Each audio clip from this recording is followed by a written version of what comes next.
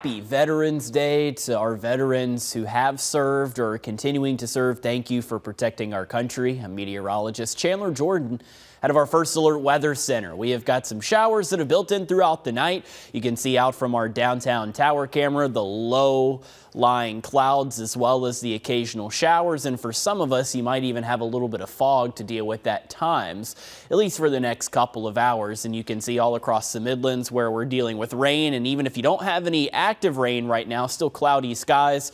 Temperatures that are in the upper 40s as well as the low 50s. Quite a bit of moisture for us to work through.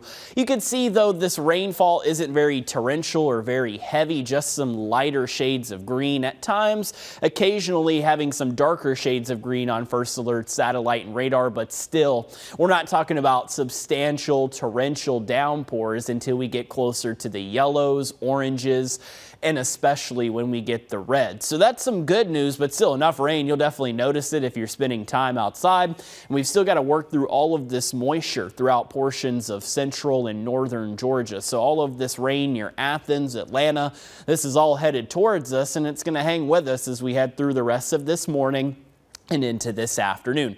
Big game for Carolina. They're playing Vanderbilt at 12 o'clock. If you're headed out there to tailgate, we'll have some showers around before the game, even at kickoff at 12 o'clock today. We'll have some light rain around, and that's going to hang with us even through the second half and into the fourth quarter. A couple of showers are still going to be lingering throughout the Midlands for us. So any type of outdoor plans that you were hoping to get to today dry, unfortunately, you're probably going to have to deal with rain for them. So make sure you have some rain rain gear handy and some extra layers to help you stay warm as we deal with these showers. Noticing how we got the light rain out there on First Alert Futurecast and we continue to deal with light rain across the Midlands as we head through the rest of the morning and even into this afternoon some showers sticking with us for the first half of the weekend. Activity does decrease just a little bit once we get into the second half of the day but for some of us we're still dealing with rain by 5, 6, and 7 o'clock this evening. Even into the night tonight, a couple of showers are still going to be possible as we're heading to bed.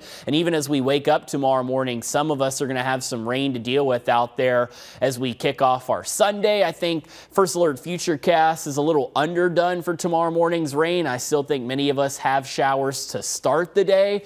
But the good news is that once we get closer to lunchtime and your Sunday afternoon, we start to get this moisture to move into the Pee Dee. With it, cloud cover starts to get eaten away and we'll start to get a little bit of sunshine to break through our cloud cover tomorrow afternoon and tomorrow evening as we push all of this moisture into the Atlantic Ocean. And thankfully, as we get rid of this moisture as well as this cloud cover, it does allow for us to have a nice start to next week. So unfortunately, our weekend plans filled with rain. However, we need the rain desperately. So it's good that we're getting some showers throughout this weekend. Your Monday and Tuesday look pretty nice, mid 60s with just a few clouds out there. We're tracking another round of showers next Wednesday and Thursday. Those will continue across the Midlands as we head into the end of the work week. And then once we get into next weekend, not looking so bad. High temperatures back into the low 70s. Don't go anywhere. We've got more news for you and weather coming up after the break.